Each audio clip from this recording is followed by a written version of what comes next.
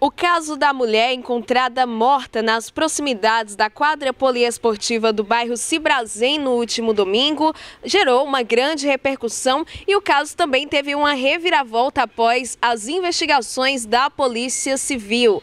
A Polícia Militar conseguiu ver o principal suspeito do crime, mas ele chegou a fugir do local. Após toda uma linha de investigação e do trabalho em conjunto da Polícia Militar com a Polícia Civil, eles conseguiram identificar o suspeito e capturá-lo. Ele foi identificado como Francisco, mais conhecido pela alcunha de Chiquinho. E diferente do que muitos pensavam, inclusive a polícia, ele não a matou com uma pedra, e sim teria jogado a cabeça da vítima e batido várias vezes no chão.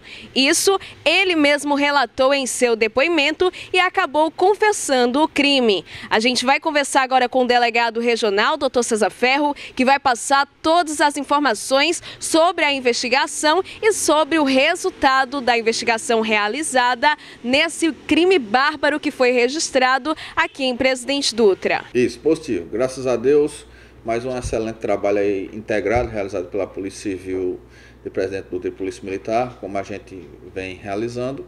E tivemos mais êxito é, nessa prisão, nessa investigação e nessa elucidação desse crime por completo, né? de maneira bastante rápida. Bom, no dia 18, na, na noite do dia 18, foi encontrado o corpo da Maria Fátima, já sem vida, né? a cabeça um pouco deformada, é do lado da quadra poliesportiva lá do bairro Cibrazem. Né? Então, a partir daí, começamos a investigar o passo a passo da, da vítima, no sentido de identificar o autor desse crime bárbaro. Então, começamos a levantar todo dia da, da, da Maria, da vítima, né? E percebemos que ela passou, ela estava nessa noite bebendo em um bar da Maria, localizado lá perto, na, no bairro lá perto, bar da Maria. Né? Enquanto ela estava ingerindo é, ou bebendo lá nesse bar da Maria, é, esse, o indivíduo conhecido como Francisco, vulgo Chiquinho, né, se, aproximou, se aproximou dela, tentou tirar uma liberdade com ela, ela não gostou, ela meteu a unha no, no rosto do, do, do Chiquinho, está até cortado o nariz dele, segundo os depoimentos das próprias testemunhas lá da região. E em seguida o Chiquinho saiu, o Francisco saiu, foi embora, ficou na redondeza, aguardando que a vítima saísse do bar. Lá por volta das 10 horas da noite, ela saiu do bar sozinha, já estava um pouco embriagada, segundo a gente conseguiu levantar. E quando ela saiu do bar e ia para sua residência, o Chiquinho foi atrás delas, inclusive quase correndo, saiu muito rápido atrás dela. Né? E 20 minutos depois que ele saiu atrás dela, ela foi encontrada morta. Né?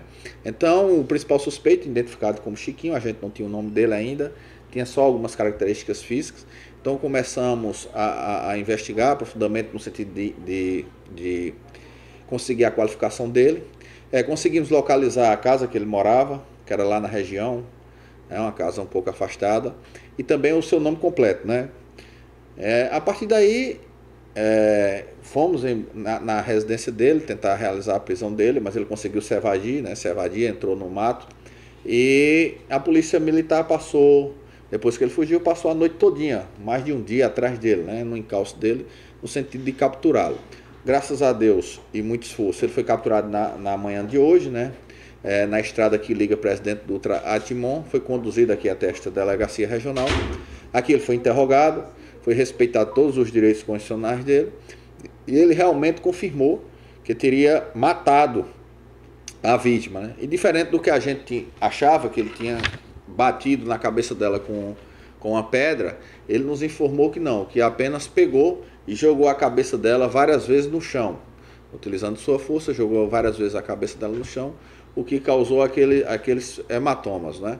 É, ele confirmou que foi ele que tirou a vida dela, é, teve, quis, é, no seu interrogatório, falou é, que teria tirado a vida dela porque ela teria subtraído 600 reais dele, o que a gente facilmente percebe que não é verdade, tanto pelo depoimento das testemunhas, como a vítima se trata de uma mulher, é, estava embriagada ainda, a mulher, né? E como é que essa mulher iria roubar, furtar 600 reais dele? E como, e segundo os relatos, ele fala também que saiu primeiro ele é, tão absurdo o relato dele que ele disse que saiu primeiro do bar, ela foi atrás dele tentando agarrar, beijar, ficar com ele a pulso. Segundo ele mesmo fala que ela queria ficar com ele a pulso. É, vocês podem perceber que ele não é um indivíduo muito bonito pela, pelas fotos, né? E, e esse foi o relato dele. por ela ter subtraído esse dinheiro dele, ele tentou, ele foi atrás, depois que ela tirou do bolso dele o dinheiro, ele foi atrás e aí matou ela. Matou ela e pegou o dinheiro de volta. Só que a gente não encontrou nem esse dinheiro com ele, né? Ele não estava com esse dinheiro. E o relato dele não bate com nada do que aconteceu, né? O fato é que ele matou ela covardemente, brutalmente. Ela não merecia isso, segundo é, os relatos da, das pessoas do bairro a conheciam. Ela era uma pessoa que não fazia mal a ninguém, né? Então a gente conseguiu prender, está preso, vai responder pelo crime de feminicídio.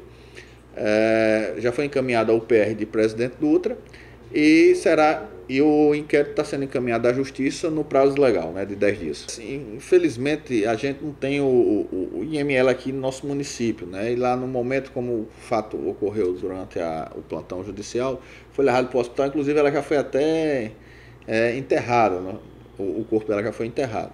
Mas o que acontece? Ele negou, ele disse que, que não tirou a roupa dela, segundo ele, ele fala, ele fala que ele, ela mesma tirou, mas pode ter, ter, ter ocorrido sim. A gente vai ver uma maneira aí, se, se há, conversar com, com os periciais, uma maneira da gente ainda concretizar isso. Mas de certeza até o momento é o feminicídio, o homicídio foi ele mesmo sozinho que cometeu, né, com seus próprios punhos.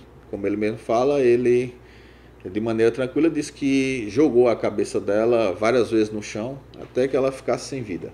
Tem uma informação que ela era usuária, né, de entorpecente ah, segundo a, as testemunhas, ah, o pessoal que a gente comentou, ela disse que era assim, que ela fazia uso, mas que trabalhava, trabalhava nas casas, o pessoal gostava muito dela, né? Segundo os relatos. É, ela era muito querida lá na redondeza, não era uma pessoa que não, não, não fazia mal a ninguém, mas independente disso, é, é, é um ser humano e ele não tem nenhum, não tinha nenhum, nenhuma autorização para fazer isso que ele fez, né? É, então vai ficar preso, responderá pelo seu crime isso, e a gente espera que permaneça por muito tempo assim. Quando o depoimento, a gente colheu o depoimento, ele era uma pessoa agressiva, né? Até os vizinhos dele comentam, um vizinho dele, que ele já até chegou a ameaçá-lo, né? É, teve uma pessoa aqui também, outra testemunha, que assim que ele chegou aqui, que ele é de Governador Acha. Assim que ele chegou aqui, ela deu guarida, deu, deu, deu, deu morada para ele, para ele ajudar, e ele terminou saindo lá porque ameaçou ela também. Ele já teve uma confusão na, na rodoviária, já teve muitas brigas na rodoviária né, com outros indivíduos. Então ele é um indivíduo problemático, é problemático, agressivo, segundo o que foi levantado até agora. A gente está fazendo uma busca minuciosa porque às vezes é, a pessoa mesmo tendo um mandado de prisão em aberto não consta no sistema. Então a gente está vasculhando todas as comarcas é, no sentido de identificar outros crimes que porventura ele tenha cometido. Porque ele era tido aqui como um andarilho, né? ele ficava num lugar, em outro ele não tem residência fixa, não tem emprego certo. É, então é uma pessoa que não tem lugar para ficar. Né? Ele pode facilmente cometer um crime e morar em outra cidade. Como ele já ia, já estava fugindo em direção ao município de Tuntum.